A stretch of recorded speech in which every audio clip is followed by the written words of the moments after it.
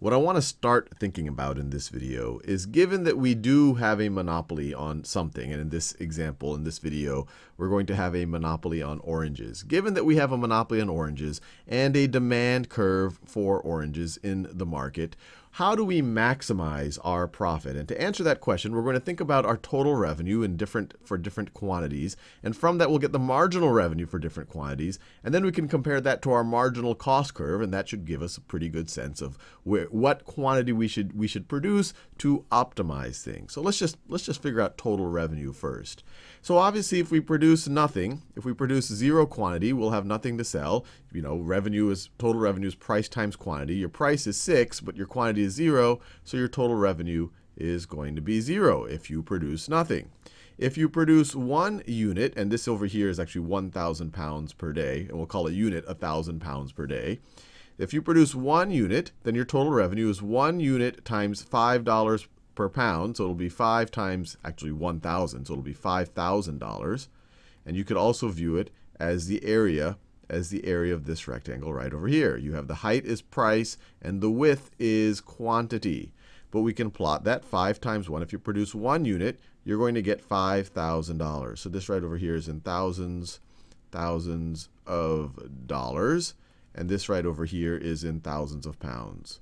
Thousands of pounds, just to make sure that we're consistent with this right over here. Let's keep going. So that was this point, or when we produce 1,000 pounds, we get $5,000. If we produce 2,000 pounds, if we produce 2,000 pounds, now we're talking about our price is going to be $4. Or, or if we could say our price is $4, we're gonna, we can sell 2,000 pounds given this demand curve. And our total revenue is going to be the area of this rectangle right over here. Height is price, width is quantity. 4 times 2 is 8. So if I produce 2,000 pounds, then I will get a total revenue of $8,000. So this is 7.5. 8 is going to put us something right, right about there. And then we can keep going.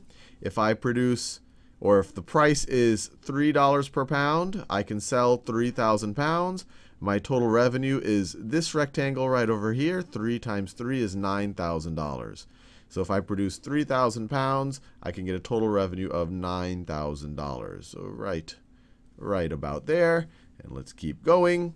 If I produce, or if the price is $2,000, or if the price is $2 per pound, I can sell 4,000 pounds. My total revenue is 2 times 4, which is $8,000. So if I produce 4,000 pounds, I can get a total revenue of $8,000. So it should be even with that one right over there, just like that. And then if I produce, or if, if the price is $1,000, I'm looking for new colors, if the price is $1 per pound, I should say, I can produce, I can sell 5,000 pounds. My total revenue is going to be 1 times 5, or $5,000. So it's going to be even with this here. If I produce 5,000 units, I can get $5,000 of revenue. And if I, if the price is zero, the market will demand 6,000 pounds per day if it's free, but I'm not going to generate any revenue because I'm going to be giving it away for free. So I will not be generating any revenue in this situation. So our total revenue curve, it looks like, and if you've taken algebra, you would recognize this as a as a as a downward facing parabola. Our total revenue, our total revenue looks like this. Our total revenue, it's easier for me to draw a curve with that dotted line. Our total revenue looks something like that. And you could even solve it algebraically to show that it is this downward facing parabola.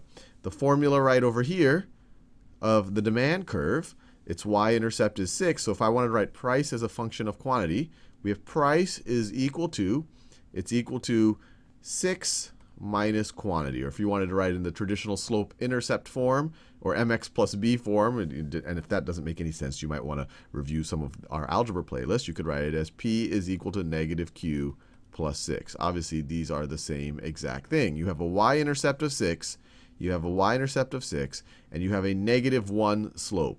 If you, if you increase quantity by 1, you decrease price by 1. Or another way to think about it, if you decrease price by 1, you increase quantity by 1. So that's why you have a negative 1 slope. So this is price as a function of quantity. What is total revenue?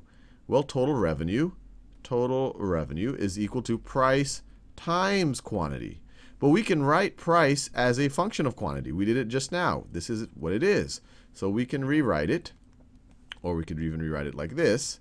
We can rewrite the price part as, so this is going to be equal to negative q plus 6 times quantity times quantity. And this is equal to total total revenue. And then if you multiply this out, you get total revenue is equal to q times q is negative q squared plus 6 plus 6q. So you might recognize this. This is a this is clearly a quadratic since you have a negative out front before the before the second degree term right over here before the q squared, it is a downward opening parabola. So it makes complete sense.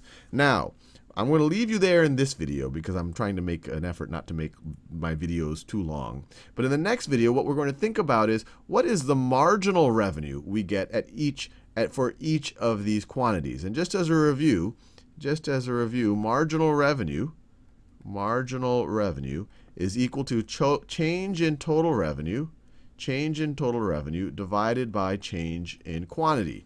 Or another way to think about it, the marginal revenue at any one of these quantities is the slope is the slope of the line tangent to that point. And you really have to do a little bit of calculus in order to actually calculate slopes of tangent lines, but we'll approximate it with a little bit of algebra.